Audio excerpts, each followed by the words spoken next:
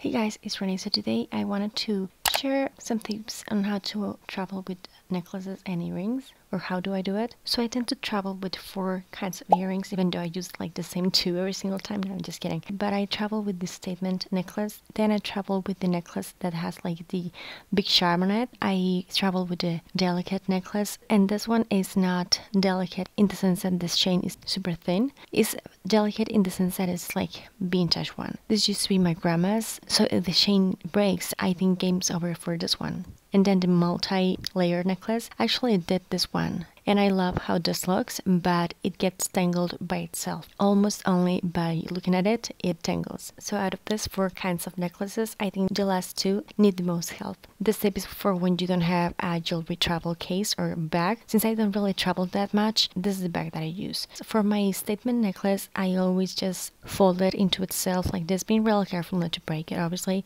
These kinds of necklaces tend to be really big, they go by themselves. For other, like more delicate pieces, I do these kinds of homes for them with some round cotton pads and some cotton balls. So I just undo my cotton ball and then fold it again twice. So it's this kind of like long shape as opposed to a round one. And yeah, it's as simple as making a wrap kind of like shape with my cotton balls and my cotton pads. So, and my necklaces are going to go around it like so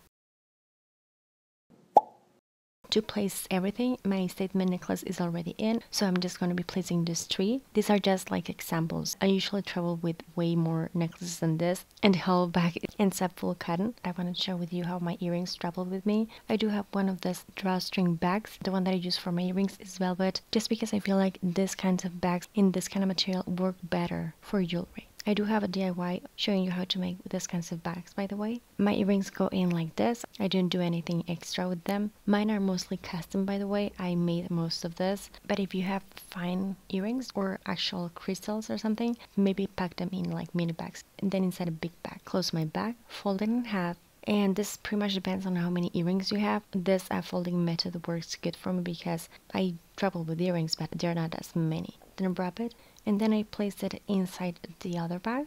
And here I'm just going to show you how this looks after you land it and you open your jewelry. I'm shaking this way more than what I always hope they actually do on like airports and planes. There's no like cotton in them or anything like that. Ever since I started packing with this method never have I ever ended up rocking a piece of like cotton on my necklaces. But yeah these are the tips that I want to share with you I know a lot of people are traveling home for Christmas and for the holidays, and I think a lot of us want to travel with jewelry. And I really hope these tips and tricks were helpful. Let me know down below. Give this video a thumbs up, subscribe for more, and share this. Thank you so much for watching. I'll talk to you later. Merry Christmas and take care. Bye.